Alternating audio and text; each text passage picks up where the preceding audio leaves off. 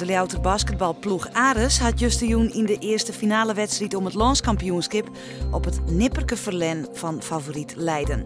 In Leiden verleer Ares mooi 74 73.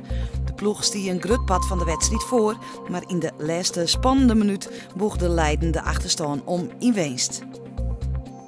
Er binnen overklachten binnenkwamen bij het LAX, het Landelijk Actiecomité Scholieren, hoe het examen Friesk dat juist aan waar.